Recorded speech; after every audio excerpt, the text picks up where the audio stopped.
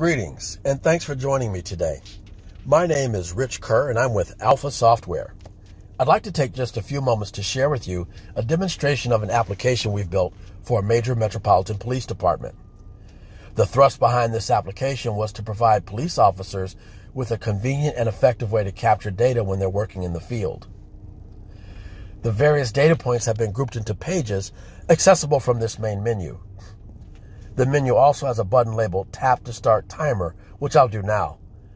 This will let us capture how long it takes for me to complete the process. There are also buttons that launch into online resources like a police bulletin, a video tutorial on best practices for using the app, and a button to submit everything once I'm done. There's also a section labeled Usage Mode. I'll tap Training Mode for the purposes of our demo. Let's go into the date and location section. Here I can record the date and time of the interaction or stop. I'll hit set to current time to update that. Then we see a field labeled adult or juvenile. I'll tap that and select one of the available values. Let's go with adult and hit the check mark. Where it says event recorded, I'll tap that.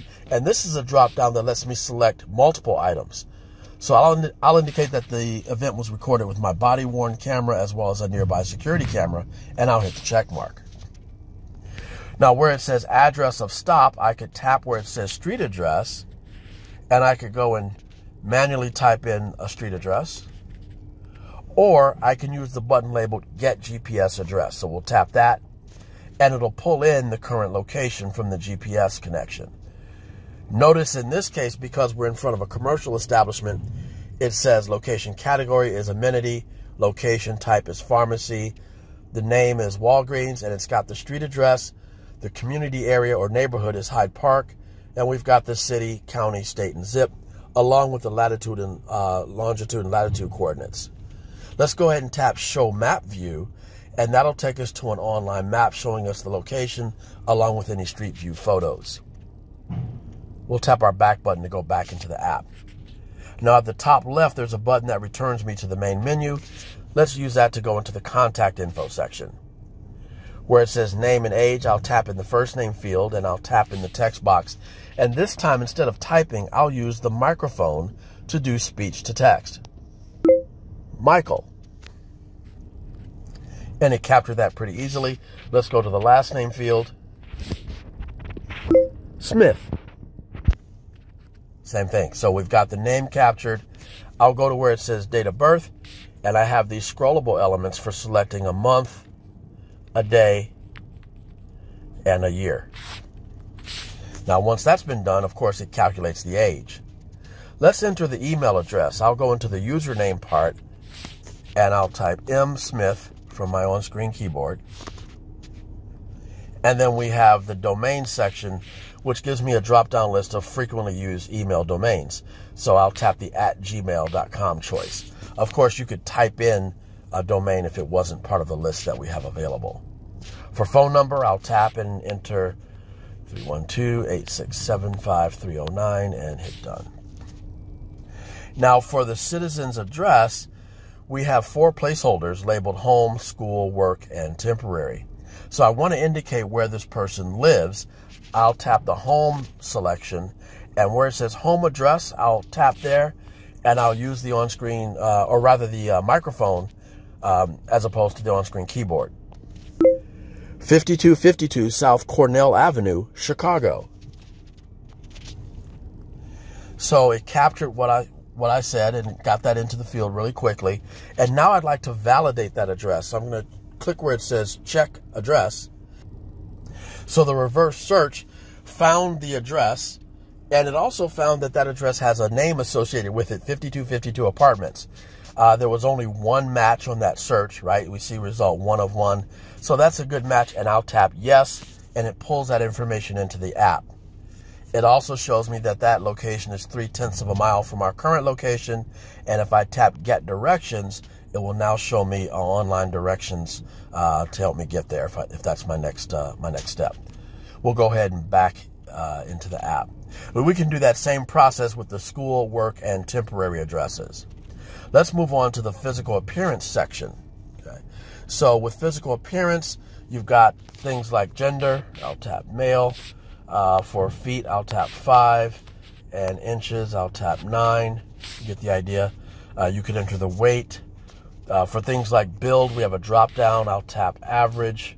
For eye color, we'll tap uh, brown. Uh, for hair color, we'll type uh, type tap light brown.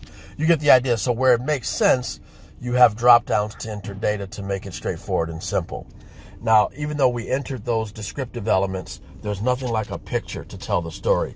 So I'll hit the option that says tap to capture image, and we can actually grab a, a picture of the person from our uh, from our uh, our camera. And when you do that, you can also mark the image up. So once that picture's been taken, you'll notice the little pen icon in the lower right hand corner. I can use that to mark up the image. Uh, we can change the pen color and thickness. I'll go with, say, the orange color. And then I can use that to circle or otherwise emphasize parts of the picture and tap save. So now the marked up version of the picture is part of the record. And we'll hit the check mark to confirm. We can enter elements like clothing. If I, if I tap where it says add clothing item, where it says item, I'll do, say, uh, jacket, hit the check mark, and for the color, I'll choose gray. And we can add as many clothing items as we want. Now, before when I want to go to the next page, I, went, I use that left arrow at the top to go back to the main menu, but you can also just proceed to the next page in the sequence. So where it says go to driver and vehicle info, I'll tap there. And if it was uh, uh, related to a vehicle stop or if there was a vehicle involved in the scenario, we would fill out this information. So uh, driver identification, if I leave the name verified option untouched or if I choose no, there are no additional questions. But when I tap yes, additional uh, fields are revealed, such as what type of ID was provided. And I'll go and choose driver's license. And there's also fields that will let us scan the barcode uh, on the driver's license or even take a photo. Again, there's a section called vehicle licensing.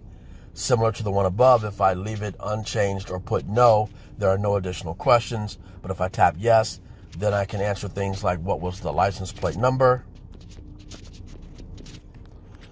uh, or the type of license plate will go with passenger. And you have things like the state where you can indicate, uh, you know, where the where the car is from, expiration date, and things like that. There's a place to scan in the vehicle identification number as well. Our drop downs can also be dynamic. So where it says car info, if I go to make and I choose, say, uh, Dodge and hit the check mark, then the drop down label model shows me Dodge models, and I'll go with Charger. But if I change the make from Dodge to say, oh, let's go with, uh, say, Honda, then the drop down for model shows me Honda models. And that's how that works. You could also add a photo of the car.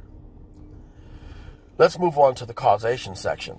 So here we want to indicate the probable cause for the stop, so I'll tap yes. And there's a drop down labeled reasonable articulable suspicion for stop. I can go in there and select the reason, hit the check mark, uh, I can indicate whether or not a pat down was consented to and whether or not it was conducted. There's also a section for sobriety tests. So if I tap yes for field sobriety test given, then I have a list of the various sobriety tests and I can indicate which ones were taken with a pass or fail. We have a weapon or contraband discovered section. If that's on yes, then we can indicate um, whether or not the contraband was confirmed with a field test or not confirmed. Uh, and then we have some frequently uh, encountered elements like cocaine, heroin, cannabis, etc. I'll tap uh, yes for cocaine, and then for the weight, we'll go with 35 grams. You get the idea. Uh, weapons found. If I choose yes, then I can say which weapons, and we'll say um, a cattle prod and hit the check mark. Known affiliations is where we could indicate if that person is known to be associated with any groups in our area. Let's move on to narrative. So we'll tap go to narrative and I'll tap in the field labeled narrative and I'm going to use my uh, microphone to do the speech to text. We observed Mr. Smith driving erratically down Main Street. We pulled him over and discovered he was driving without a driver's license and no insurance. So a citation was issued and his car was impounded. And it does a very good job of capturing everything that we said. We can sort of scan through and see if any corrections are needed and hit the check mark when done. Now I'm going to sign off on the app. So where it says tap to sign, I'll tap there. And as the officer involved, I'll put my name. And then we will ask the citizen to sign as well. So where it says tap to sign, then they can go ahead and sign off. And that's really it. We can go back to the main menu. And I'm going to tap the button that says tap to stop timer. And we can see that it, it took just over 10 minutes to complete the app and remember that that involves me also explaining the different portions. So if I were going through it uh, in a normal scenario, I wouldn't be explaining the steps along the way. So it would be well under 10 minutes to complete all this information. So I hope you uh, found it interesting. We'd love to talk with you in more detail about customizing it for your department. Again, my name is Rich Kerr, K E R R. My phone number is 781 462 6714. Again, 781 462 6714. And my email address is rich.kerr, K E R R, at alphasoftware.com. A L P H A S O F T W A R dot com. Thanks so much for your time and attention. Have a productive day.